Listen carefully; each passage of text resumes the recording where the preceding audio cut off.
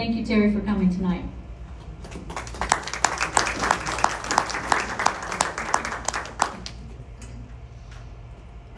to get back here without knocking any cords out. You really want me way back here? This way a little bit. There you go. All right, so I'm Terry Naucthman, um, retired Air Force, born in Wyoming.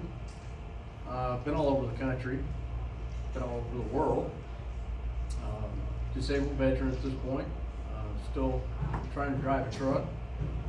And uh, so I don't know about the rest of you guys, but me being uh, retired military, when all this started happening, I got a little upset, and I was a little bit disappointed that we're just rolling over and letting them take it from us. And so, you know, I was all geared up, ready to go. We have to take it back. What are we going to do? How are we going to do it? And nothing happened. And we waited, and we waited, and nothing happened. And now it's been almost two years.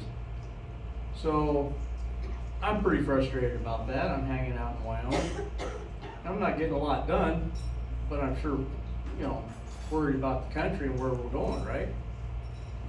Then I find out about the People's Convoy. And I get thinking about that, and it's like, well, wait a minute. I have a truck, and I'm retired, so I don't have to run the truck all the time. So I decided to jump through hoops in about four days and get everything ready to go and catch not the People's Convoy because they had already left at that point, but the Freedom Convoy, which was coming through my area. Um, I don't know if you guys realize it or not, but there are, I, I don't even know how many convoys there are now. I, I couldn't even begin to guess. I would guess each state probably has one. So uh, I know that Missouri has one, and Missouri's actually leaving on the 15th to go to DC for the children. And it's about the human trafficking and the children trafficking and things like that. It's going to uncover uh, some of the dirt on uh, basically lawyers and uh, judges and people like that that are actually making money off of the human trafficking. So uh, that is a uh, individual, I can't think of his name right now, but I just met him last weekend at the uh, Capitol. Uh, Does anybody here, did anybody here go up to the Capitol uh, last week or a couple weeks ago for the rally up there? So we had, uh, I, I barely got here in time. I just left the People's Convoy in California and came back out here to pick up where I was at two months before and try to uh, get some of the things done I needed to get done and then jump back into the convoys.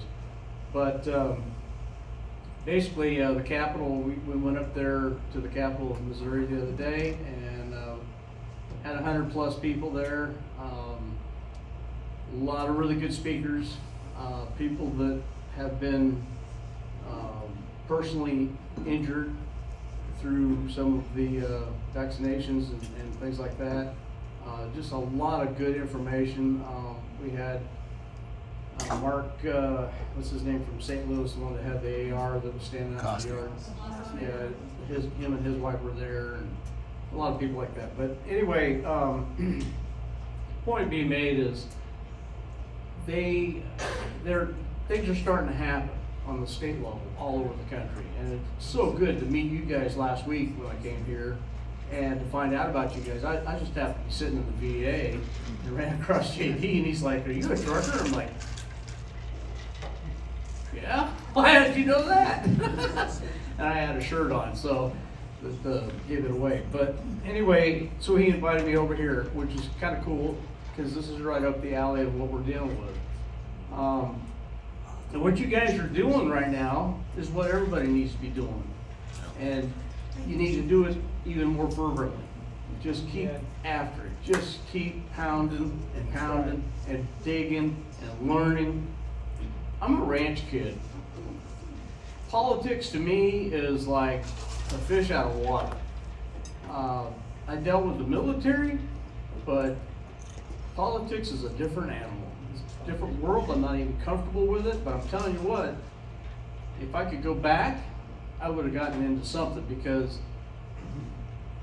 we just let it go. And um, it's going to take a little while to get it back. So here I am, I'm sitting in Cheyenne, Wyoming, and uh, convoy's coming through.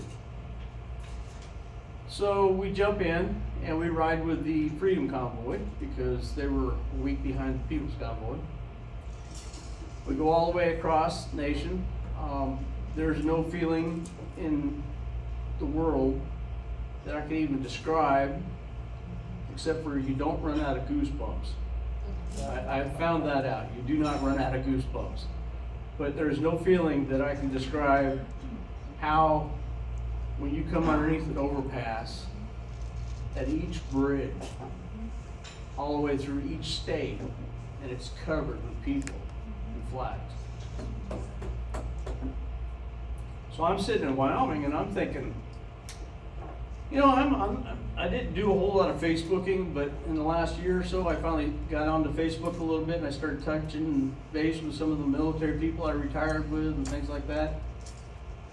And I just didn't see anybody else being a whole lot concerned about what was going on. And I was really worried about the country and the direction we were going. And, and so when this conflict came up, I thought, you know what? I'll, try it because it's something I can do. So I jumped in. When you start crossing those highways and you start seeing all the support, you realize that you're not the only person out there that knows something's wrong. I felt like I was the only one. As we've traveled across the nation, we've met so many people and heard so many stories about people that said the exact same thing. And they heard about us, they came out, and they started supporting. Some of them joined us, whether they were in an RV or a car or a truck or a chartreuse bus. We actually had a chartreuse bus, believe it or not. and I'm not sure if there were seven hippies in it or not, but anyway. Point is, is this, um, we're not alone. There's a lot of folks that are worried about their country, worried about freedom, worried about the direction we're going and we are not alone. And that is probably the biggest takeaway that I got from the whole convoy was I found that out across the nation. Now you get into different states and you're going to run into some. Um, sure what the right word would be for it. Some um, kickback or some pushback. yeah.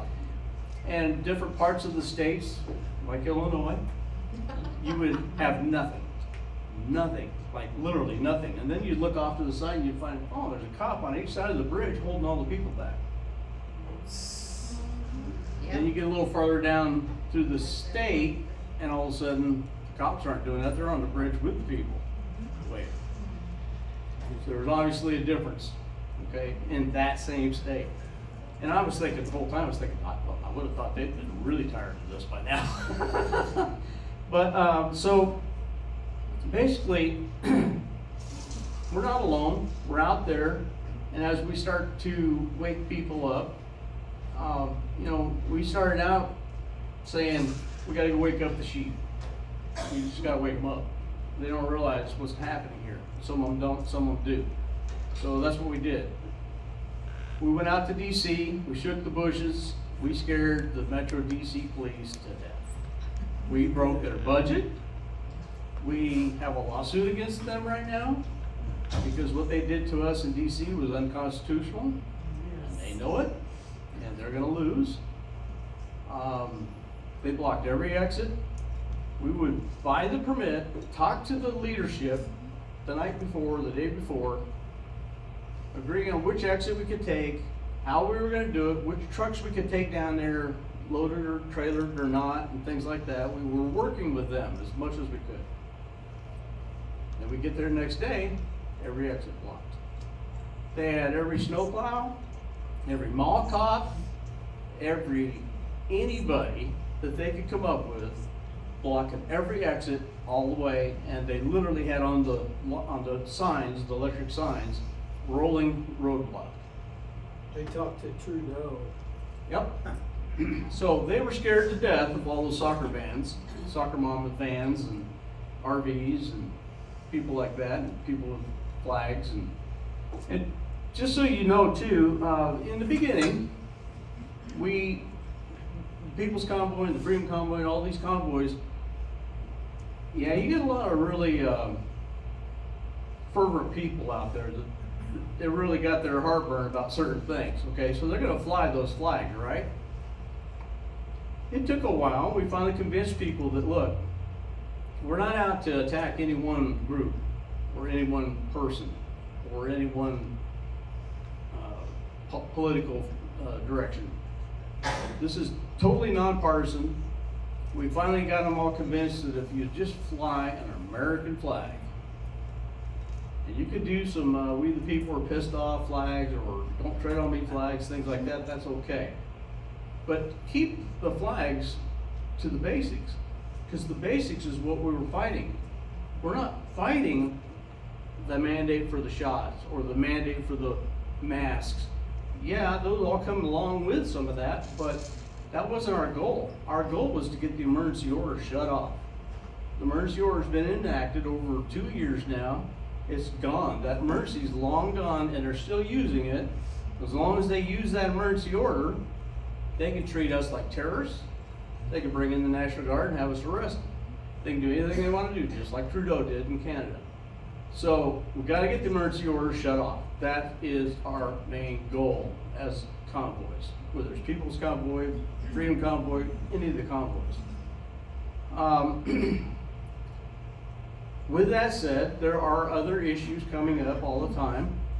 And I, I've got, I got hit in the eye with a hydraulic hose a few days, just before I came in here the other night, the last, last week. and so I can't really read right now.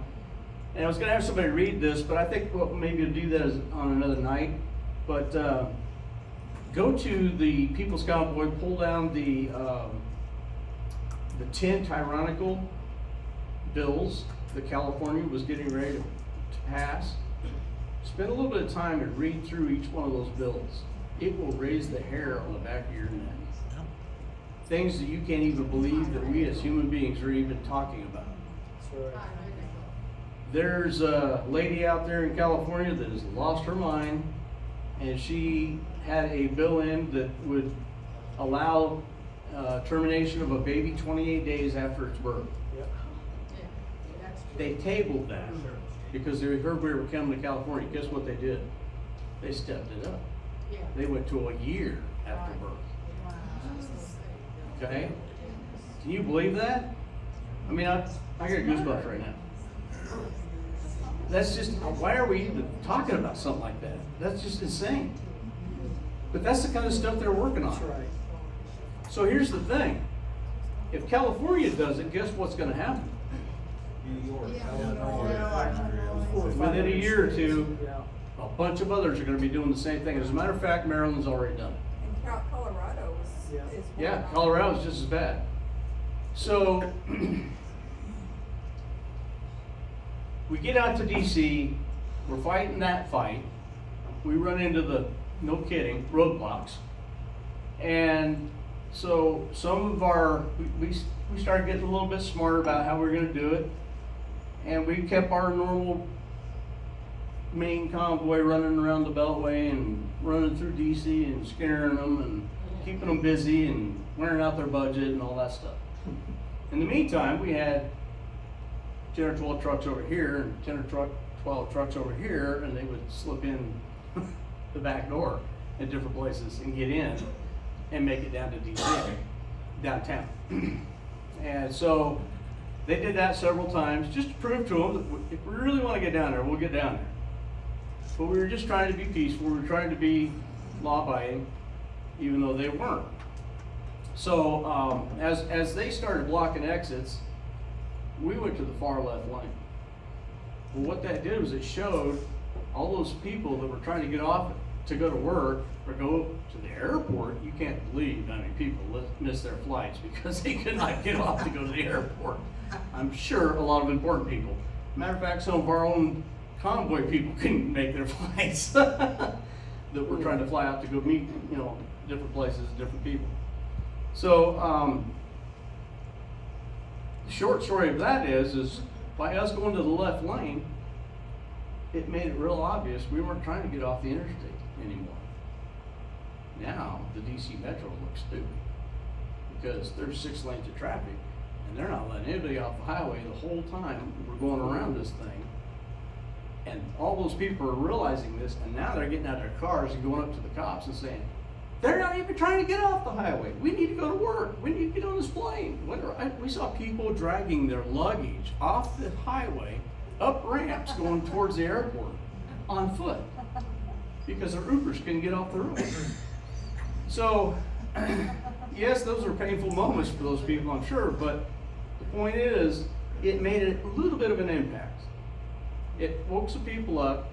When we first got to DC, we were told we were number one all day long. We were brake checked everywhere we went. Some of us got into wrecks. Uh, it cost some of us our trucks. And um, we're pretty sure that some of it was set up by the DC Metro, at least the higher ups, to make us look bad. But we didn't bite, we didn't fight, we stayed peaceful, and we rolled on. But one thing we did do is we stayed together. We didn't leave each other. Something happened, I got into a situation with my truck and uh, my convoy stopped and they wouldn't move until they let go of me.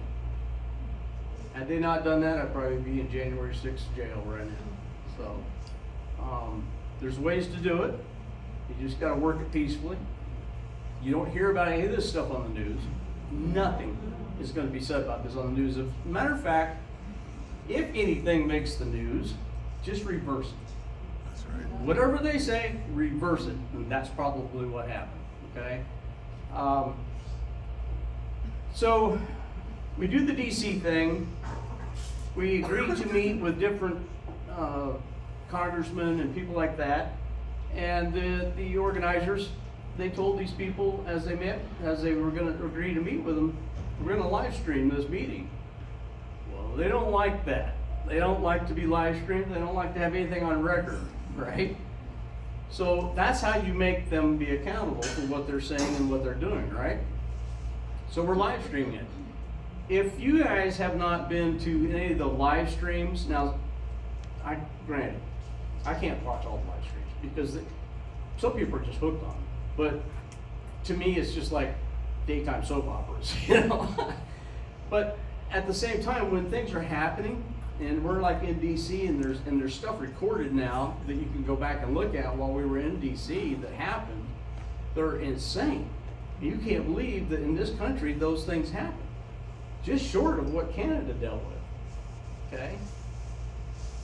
We are so close to being where Canada was at right now that we've got to keep pushing. So if you want to look at some of the live streams, I, what I would recommend, I don't have a list of them, but they're on the People's Convoy's website.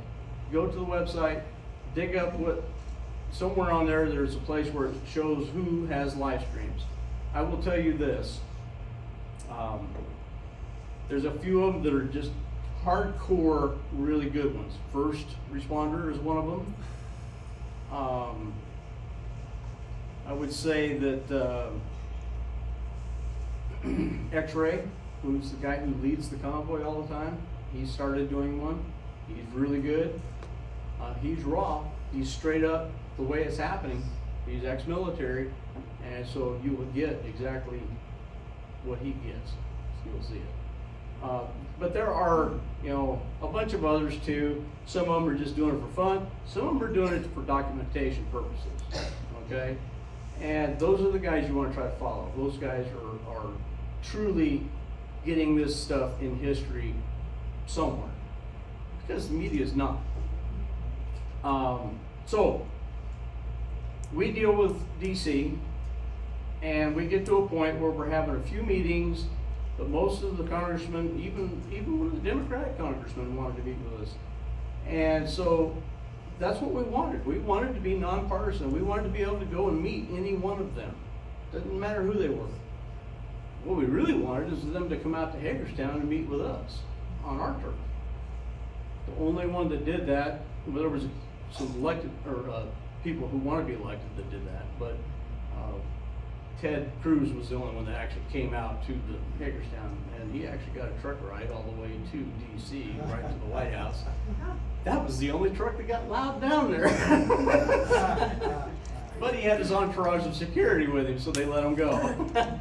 But, um, my point was, was this, is these guys don't wanna be live streamed, they don't wanna be recorded that they said this or agreed to this or whatever.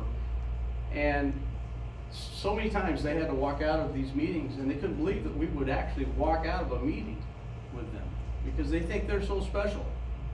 They think that they're so much better off than we are that they can't believe we would walk out on a meeting with them if we don't, if they won't let it be live streamed. We do that for you. We do that for the people. Good. So the people see exactly what's going on, real time. Okay? So, but watching the news, go look for some of these live streams. When they're traveling, yeah, hit it a little bit, check it out, see where they're at, whatever, and then move on. Because it's just too much drama. You know, just on, you put ten truckers in a room or in a, in a gravel pit together, and they're not going to get along. so, to put a truck convoy together and make them all do something is actually really uh, quite a feat. And I don't know if anybody else here is a truck driver or not, or has a CDL or has experience with trucking and not, but uh, it is um, it's a different world. So what we did then, when DC failed, it didn't fail. I mean, we did accomplish some things, but because we couldn't get downtown like we wanted to, um, we this California deal happened, and I would encourage you guys to go look up these tyrannical. There's ten bills that they were voting on, and uh, we rushed back to Cal- uh, California to fight these bills. That's why they went all the way back out west. Then uh, now they are headed back across to the East Coast again to DC. They're in Nebraska right now. Uh, there are some Freedom Convoys out there that are headed that way. Some of them are still out there. Some of the Freedom Convoys are still out there, been hitting the capitals in the area of the states that will not vote to get rid of this emergency order. So they're beating them. Um, we had, last count, I think we had thirty-two or something states that were on board with getting rid of the emergency order, and I think they had to have thirty-eight, if I remember right, or something like that.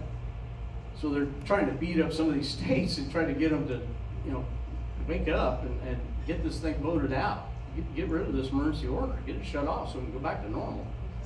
And, um, so that, that was our main focus. Now, our focus is still the same, but it's shifting in motivation, it's shifting in tactics. Now, as they go back out there, there's a, a lot of different ways they're gonna deal with this because it didn't work the way we wanted it to last time we were there because of what they did. Um, so we'll see how things go as they come through. Um, we have the Missouri group that's going out a few days after the People's Convoy comes through. Uh, we will be leaving, uh, I think it was on the fourth or thirteenth out of here, or out of uh, St. Louis area, and going across. Um, if my eye gets better where I can drive. If not, then I'll ch- catch up with them a week or so later. But uh, that convoy is headed back out to, to meet up with the People's Convoy. Uh, the Missouri convoy is going out for the children's uh, rights. They will do their thing and then they will meet up with the People's Convoy. Um, there's been, let's just clear something real quick. For a while now, there's been a little bit of, um, oh, like, I don't know if it's dissension or what it is, but you know, when you get people together and you get, get organizations going, everybody wants to be the boss or whatever, the leaders or whatever. Uh, where their feelings get hurt or what happens, uh, you, you just never know. There's all kinds of little issues, right? So between the People's Convoy and the Freedom Convoy and a few of the others, they got a little bit of roughed up a little bit. Um, but they've kind of worked through that now, and there's been kind of a, what I call a purging of the convoys. And so now you've got this core that stayed with it, and they're kind of keeping going. Now they're regenerating support again to go back out. Um, I think this next time they go, It'll be more productive. I think it will be, hopefully it won't take as long. Uh, you know, we're basically, we woke up the sheep, as many as want to be woke up. Now we're waking up the lions, and the lions are the people that are gonna go fight. They're the people that are gonna do what you guys are doing and challenging and checking into and calling people and finding out, you know, hold people accountable, basically. And so that's what we need. And, you know, they, back, back when we were at Hagerstown, that's what they called for. Everybody go out to your states and start rattling those cages and start beating them up and start going to your capitals and, and, you know, following up on all this stuff. And everybody start doing that. Uh, that's, that's really where it's at. That's why last week, when I was here, I said, that's where it starts. It starts in the school boards, it starts in the city councils and all these places that you're talking about right now.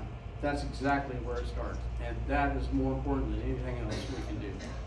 So, we're gonna go back out. Uh, the Freedom Convoy's out there, we're gonna all join back up again, uh, join forces and have a better tactic this time. Uh, they won't tell me exactly what their tactic is yet, because it's still kind of top secret, whatever, but, uh, so that's the plan.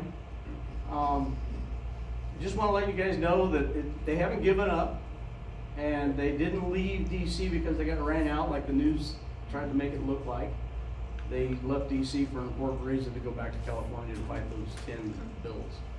Uh, if we don't stop those bills in California, they're gonna be everywhere else, and we'll have to try to stop them everywhere. And so, some of them have actually slipped into some of the other states, so. Um, sometime I can sit down and, and, uh, you know, I can answer a couple questions right now, but sometime I can sit down and actually, you know, go through in depth what we, what we went through, but, uh, you know, if you got anything specific that you'd like to ask, go ahead. We have some questions. Thank you, Terry. Go ahead. Good job. Uh, First of all, thank you for your service, and thank you for what you're doing. Thank you.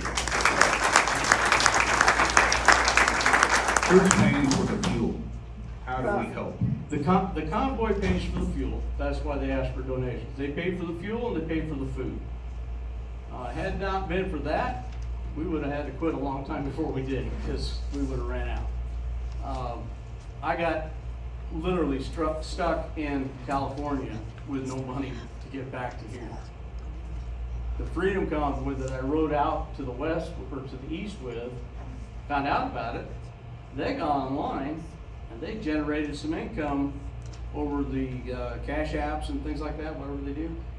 And boom, before I knew it, I had money to pay for fuel to get me back to here, and I had just enough money to get me So that's that's one thing, because we spent everything we had. We did everything we had to be out there for two months. And even though they're paying for fuel and they're paying for food, there's still a lot of expenses going on, and all your bills that are going on at home are still going on. They don't stop. Uh, some people are more fortunate than others because they were in a better position when this happened.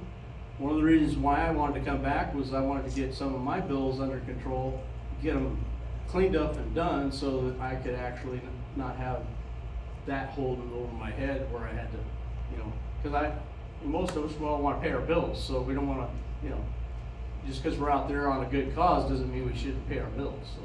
That's right, that's right. Um, I've been following the People's Convoy, but I also saw the Freedom Convoy, and it seems confusing on what each is standing for. And is there a reason?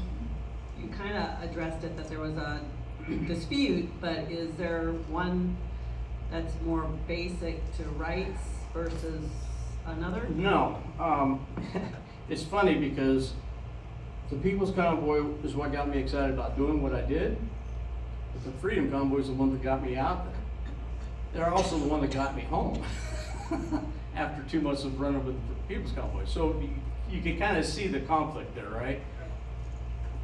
When we got to DC with the Freedom Convoy, we had, I want to say it was 130 semis and more cars and RVs than I could count. I know the People's Convoy, when they went through uh, Oklahoma, I think it was, the troopers told them they were 30 something miles long. When, you know, and, and throughout a convoy, you have people getting in and getting out constantly. Some people ride with you to the next exit, some people ride with you through their state, some people ride, we, s- I'm not kidding, we saw, and I never could believe this, we saw a guy who was hauling a crane on an oversized trailer pull off, and we heard about it up front. By the time we got there, he was already unhooked from his trailer on the ramp and joined into the convoy.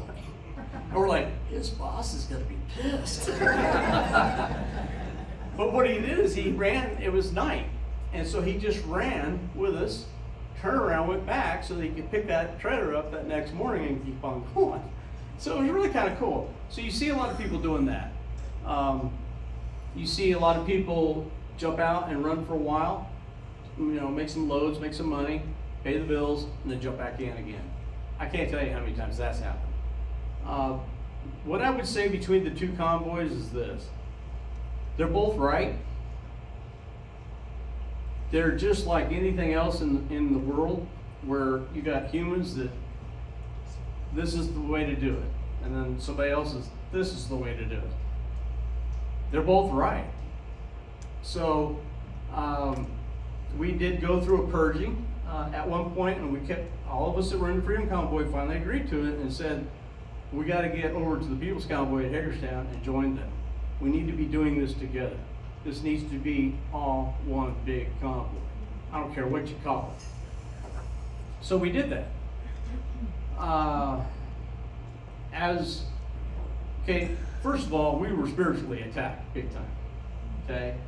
Uh, we, we, and I could, I could just go on for hours about the things and the stories I've heard uh, that have happened. Um, the wrecks that they cause uh, us and, and, people that were in the convoy. Um, so, from the get-go, we were being attacked. Uh, the evil one does not want us out there, doesn't want us doing what we were doing, doesn't want us waking anybody up. Correct. So, uh, you know, they got, it, it, somehow it got in to the convoys and it started festering and we went through a purging. And we lost a lot of people, a lot of trucks, a lot of people. I think most of those people will come back this time around if we're productive. If we have a good plan and we're productive and we work it the way we were supposed to do it, I think they'll come back. And that's what they're doing right now, is coming back across, picking it back up again. They've learned some lessons, both of them, both sides. And now they're trying to work through what they learned and do it differently My second question is, I went up to St. Louis for that, um, and I was on the overpass, I'm not a truck driver, so I can't do that, but that was awesome. But Yes. it's, it was hard to really figure out where I was supposed to go, cause there's a lot of overpasses in the, uh, in St. Louis. So is there a better place than Facebook to follow where you're, you're traveling, so that we can support you with our presence? And then I would like to know if we can give some donations tonight too, cause that would, I, I would like to do Well, that. what I would say is this, uh, you know, Facebook is one place, obviously, but Facebook's still under control. So there is a, you know, a peoplesconvoy.org, which is actually on the internet, that's not controlled by Facebook. So you can go to that- and get a little bit more of a straight story on some things, because they will sometimes pull things down off of Facebook. But, like I went to look for the ten tyrannical, uh, bills that they were trying to pass. I couldn't find them. I'm like, Yeah. where'd they go? Yeah. Well, I went to Org and they're there. You just gotta dig them out. They're, because it's old history now. It's down deep into the, into the history of it. But, so yes, you can still donate to both of them. And I would do that. I would, I would do whatever you can for either one of them because they're both doing good things right now. The Freedom Convoy, uh, they have been hitting these capitals up here that are a problem up in the east for a month, just beating them up and, and drumming up support like y'all in the local states, okay? Where the People's Convoy is more of a national thing, and they're hitting rallies, they're doing things like that, and coming back across. Now, as far as finding out where to stand on a bridge, I don't know how you guys do that. I have been amazed. I have been at 11 o'clock at night going down the road in the middle of the night, drizzling rain and wind blowing, and there's a lady on the bridge waving her flag. And you're like, how did she know? and bless her heart, right? So I can't tell you how many times we've seen stuff like that, and somehow they figure it out. And I, I would say probably it's the live streams. They're probably following the live stream so they know exactly where we're at at most any time. Actually, let me comment on that, on how you find out. And I already told you. So besides you, who else have been on them overpasses watching this? Okay.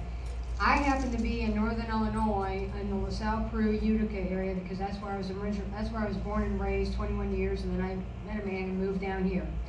Anyways, I happen to be up there visiting family, and I get on, it's Highway thirty-nine, the old, it's New fifty-one, in, uh, LaSalle. And I get to the Oglesby overpass and I'm seeing flags everywhere. I'm like, what the hell is going on? So then I keep going down the road and I'm seeing more and more. And I get eight miles north of Bloomington. I'm like, hell, I'm just gonna pull off and find out what the heck. I'm like, certainly the convoy's not coming through here, is it? Because I had no, I mean, I'm, I'm on my phone looking to see if I can find the map. So there was an IDOT guy in the middle of the road and another truck that had flags, and that was about all that was really on that overpass. And I asked the IDOT guy, I said, can I ask what's going on? And he said, the convoy, and you said it was, because you were there, it was the People's or the Freedom Free- Convoy It was was a coming Freedom the- Convoy. yeah, on I- And he said they're forty-five minutes behind you, and I thought, well, all right, I'll just be getting home late. I text my husband and I say, I'm gonna be late, I'm gonna watch the Freedom Convoy. And as I sat there, waiting for the people to line, you know, as the cars came, I thought, all right, I better get on my car, and, and the goosebumps, and there was a guy, if you didn't have a flag, you were given a flag, and it's in my car, and, but the goosebumps and the feeling that you, I mean, the, the overpass got utterly crowded, both sides of the overpass, Traffic full stops. of people. It just shuts down. And then the truckers, and then you just, you know when they're coming because, you know, they've got You can hear the going to DC. before you. Yeah, going to DC, head, you know, DC bound, where they're all honking, they're all, every, I mean, and it's just, wow. So if you can do it, I mean, it, it was, I, I was just, wow. I've got pictures and everything. It was great. I have not been on an overpass, but I've talked to a lot of people that have. I talked to one lady out of DC, she said that the first time she was on an overpass and we all went underneath her, and some of these trucks are loud. And she said it scared her so bad she had to step back away from the edge of the bridge. And then she kinda got used to it, and then she got back up to it, and pretty soon she was leaning over, waving her flag. So it kinda intimidated her at first, but the point they're doing is they're trying to wake people up. They're trying to bring attention to them so people are like, and this is what I've seen happen. I've seen it happen all over the nation. We'll be going down an interstate. We may not stop at a certain town or a certain city, but when we're going down through their city and we get on those horns and we're making noise, you watch the people that are down at the filling stations and the gas stations and the, and the, the 7-Elevens or whatever. Guess what they do? They're pumping gas, they turn around, and what is that noise? And they, they're like, you can see them looking. Next thing you know, they pull their phone out and they're like, trying to figure out what's going on. Well, if they type in convoy, guess what's gonna come up? All these live streams. Pretty soon, now they're starting to go home and they say, I just saw a convoy. And then they start looking. And pretty soon, at work the next day, they talk about it. And do you see what I'm saying? And the 10-10 rule starts to take effect. And that's what happens. People start getting excited and they start realizing they're not alone. And the other thing is, is they're seeing just American flags. They're seeing patriotic people. They're not seeing, um, let's go Brandon necessarily, things like that. So my point is, is we're trying to wake everybody up, okay?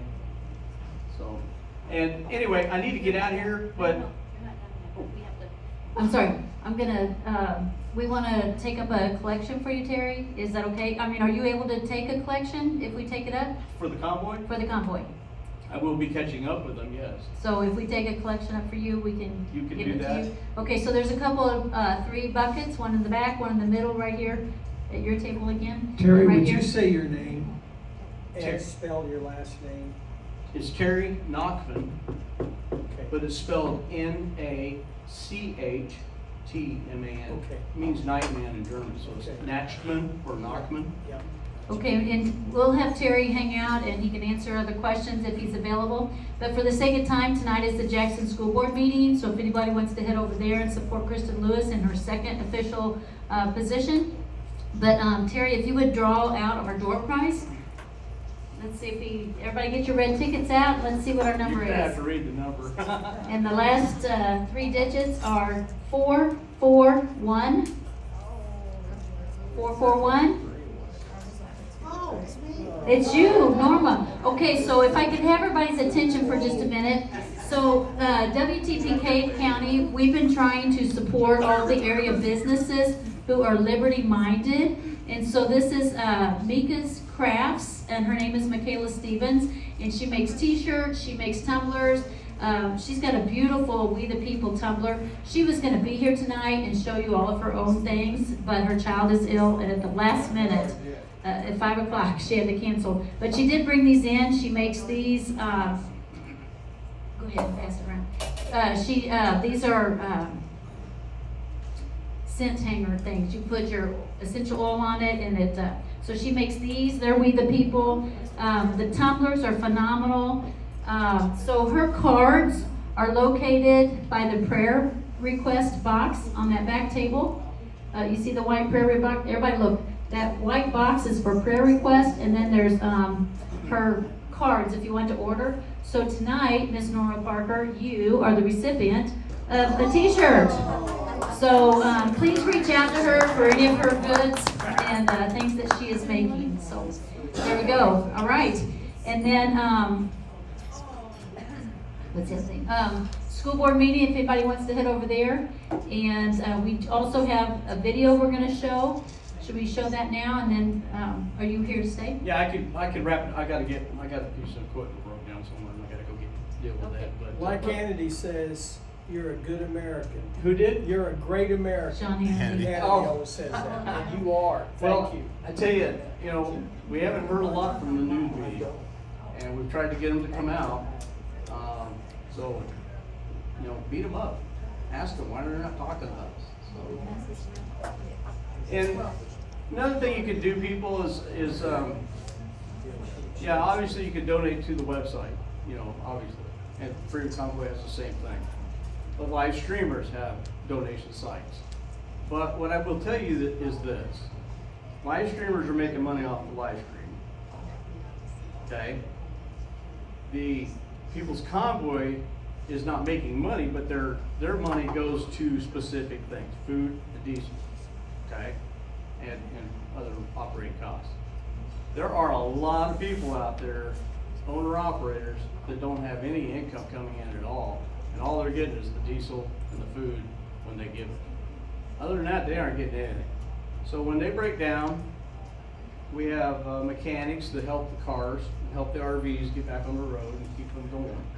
But the trucks don't. The trucks are expensive to fix. I would venture to say it's gonna be a thousand dollars every time you have to off that road. If DJ was here, he'd probably agree to that, so. If you know anybody that has a truck, have them look into this, have them jump in. If they can, have them jump in, even if they just go for a little ways. They are going to be in,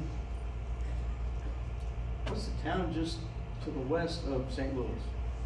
Wentzville, St. Charles. Nope. Starts Starts St. Charles. Well, there's a lot. There's a- I mean, O'Fallon.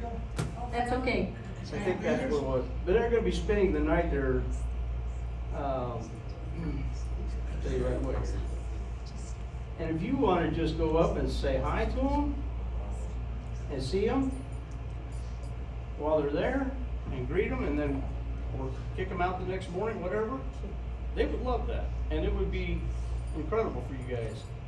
And I might just give you this right here and let you post it, but, um, so on the thirteenth, they will be at Farstel, or Farstel? On- Foristell. Foristell, Missouri. They're gonna be at the TA Travel Center. At the TA Travel Travel Center. Center, Concordia, Missouri? Concordia, Missouri.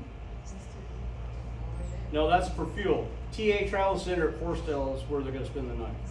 So that's on the thirteenth, okay? It's just around the corner. The next morning, they'll leave out of there and head on, on out. So that's one of the small convoys that's trying to get back out there, that's coming out of Colorado. Uh, you got the, uh, and I would encourage you guys to look into this Missouri convoy because it's really, I mean, I think it's really important. I got to the Capitol and I ran into five people that I knew out of Hagerstown. That were from Missouri. That's pretty cool. Yeah. You guys awesome. were very generous. I'm gonna hand this over to Terry right now. And, uh, a big hand for Terry. Well, thank you. We- I will uh, diligently take care of this for you. Uh, We carry flags for people, we carry plaques for people, we carry casket flags for people. We do a lot of different things, and uh, these kind of things we don't take lightly. We we definitely uh, are good stewards of it, so thank you. Thank you all very much. So So I may or may not be here next Tuesday, depending on whether my eye gets better or not. So. We need the prayer team to be praying for his eye. Alrighty, thank you very Love much. you guys, thank you for all your hard work you guys are doing, keep it up. Thank you. Um, so we have